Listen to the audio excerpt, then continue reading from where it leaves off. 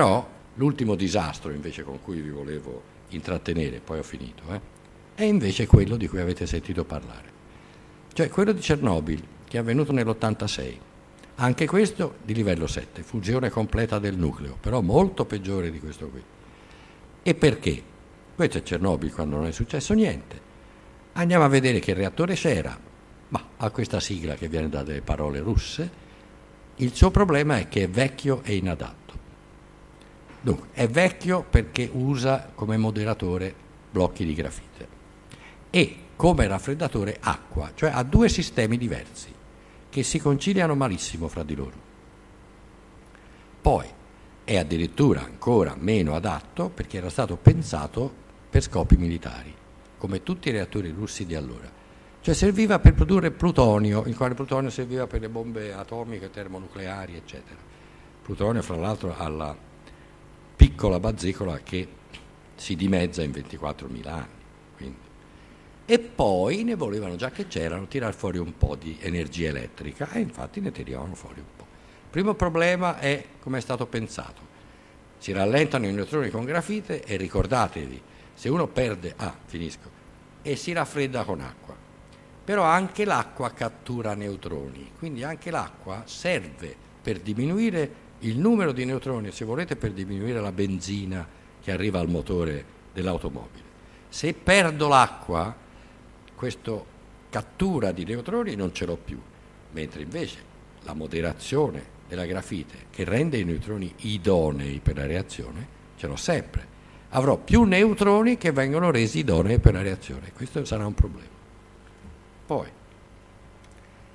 Pericoloso perché è instabile, proprio per quello che vi ho detto. L'acqua assorbe, avvelena i neutroni, 100 volte più della grafite.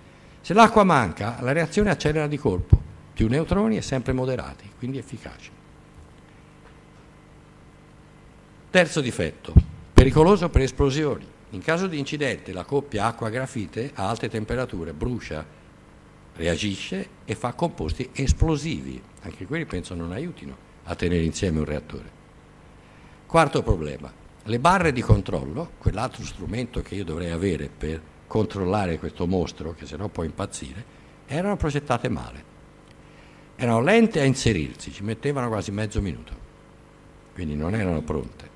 Poi la parte terminale, quella che si inseriva e cacciava là, l'acqua, si inseriva in canali dove c'era l'acqua, quindi cacciava l'acqua, entrava quella, per almeno un metro era in grafite. Cosa succedeva? Che quando entrava moderava quella parte lì. Quindi aumentava i neutroni efficaci per fare la reazione. Ricordatevelo anche questo. Il primo metro faceva anche lei questo effetto. Più neutroni idonei per fare la reazione. Questo non era stato scritto sui manuali. Quindi anche quelli non sapevano tutto. Eh? L'esperimento che gli propongono qual è? Dice, senti, stacca tutto, stacca l'energia e vai a vedere se per inerzia il moto della turbina e del turboalternatore, eccetera, generano l'energia elettrica necessaria, comunque per inerzia, anche se è staccato dalla rete, per continuare in qualche modo a raffreddare il nocciolo, nell'attesa che entrino i sistemi di emergenza che avevano un tempo morto. Se mi fai questo esperimento, stacchi tutto e vediamo se basta quel residuo di energia prodotto dall'inerzia della del turbo alternatore. Ovvero, è possibile alimentare le pompe per il raffreddamento grazie all'inerzia della turbina fino all'avvio dei due generatori diesel di riserva? Dunque, l'esperimento era stato proposto a tutti i reattori russi, che più o meno erano simili. Nessuno l'aveva voluto fare, uno poi l'aveva fatto, l'aveva fatto con i crismi della sicurezza e aveva dato risposta negativa. No, non è possibile che questo possa funzionare. Il direttore della centrale di Chernobyl non era un nucleare e proveniva dai, dalle centrali termoelettriche. Quindi era un ingegnere elettrotecnico. Era stato messo a capo delle centrali di Chernobyl per meriti di partito. Queste ve le racconto, non ve le ho scritte, ma le so. Non solo, ma lui amava circondarsi dei suoi omologhi, quindi cercava di trasferire a Chernobyl persone che avessero anche loro lavorato nell'ambito delle centrali termoelettriche e quindi si era un po' circondato di quelli, anche. Non era comunque uno che aveva la sensibilità nucleare, che serviva alla guida di, questa, di questo mostro. Non solo, era un ponte, un fine settimana, c'erano delle ferie, un ponte lungo, il quadro degli operai era ridotto e accettarono di fare l'esperimento e lo fecero anche durante un cambio di lavoro, per cui anche le informazioni se le passarono male. Bene, visti tutti i difetti, adesso vi spiego che cosa è successo. Loro staccano il turbogeneratore e così va avanti per inerzia. Però attenzione, siccome l'altro esperimento con tutti i crismi aveva dato risultati negativi, noi dice no, noi siamo più bravi, adesso facciamo vedere noi. E isolano il circuito di raffreddamento di emergenza, dice no, lo stacco. E questo è il primo errore, perché chiaramente agli altri non aveva permesso di fare più che tante robe.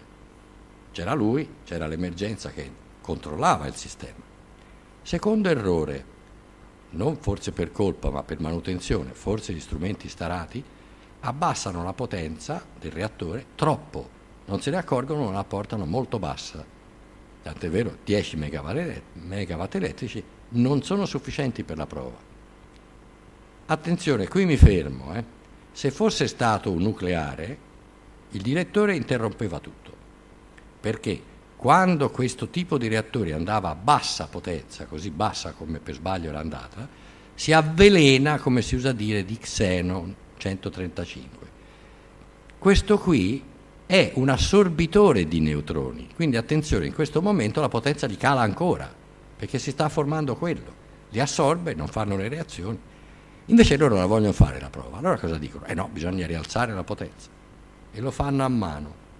Si cerca il recupero di potenza manualmente, perché se no i sistemi non gliel'avrebbero permesso, levando le barre e ne lasciano 6 al posto delle 30 minime che da manuale dovevano stare dentro.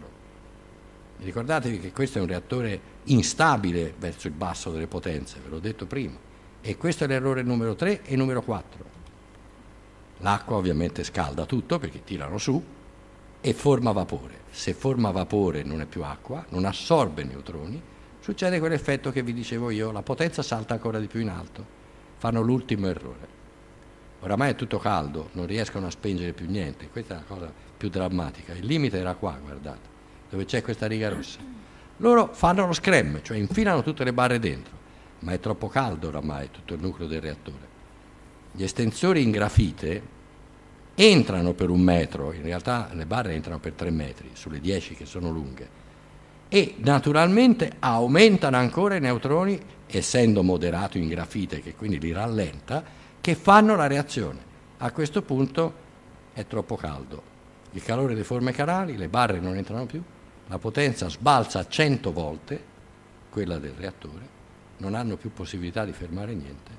Questo è quello che succede butta fuori nei primi istanti con le esplosioni 20 milioni di curie, brucia ovviamente la grafite, reattore sprofonda di 4 metri, dentro ci sono 135 tonnellate di uranio, plutonio, reazione a catena continua e continuerà per secoli, almeno per molti anni. Brucia il 10% della grafite, i fumi vanno un chilometro sopra, i gas radioattivi girano per tutto il continente. Ecco perché vi ho fatto capire questa e ci rifletterete sugli errori. Però guardate, c'è stata anche una cosa, aver messo nel posto sbagliato la persona o le persone sbagliate e avere anche una tecnologia arretrata. L'URSS si era chiusa in sé con la guerra fredda, eccetera, non aveva più gli scambi e volevano fare quello e quell'altro, il plutonio per le armi, le cose, eccetera, e tutto questo non si poteva fare. Queste sono le mappe di radioattività da Cesio 137 in Italia all'epoca. La parte più, più, contaminata era quella del nord-est, come ovvio, qui trovate le scale, eccetera. Ricordatevi che Cesio 137 è in vita 30 anni, nell'anno prossimo sono i 30, nell'anno prossimo è diventato la metà, ma non è sparito. E naturalmente da questo potete trarre i vostri insegnamenti io ho mirato stavolta alla vostra esperienza futura, a quello che sarete chiamati a fare. Dovreste capire da tutto questo che le responsabilità sono a volte enormi, che al merito nell'occupare certe posizioni non si può transigere, non si possono mettere dei raccomandati o della gente incompetente in situazioni di altissimo, alto altissimo rischio.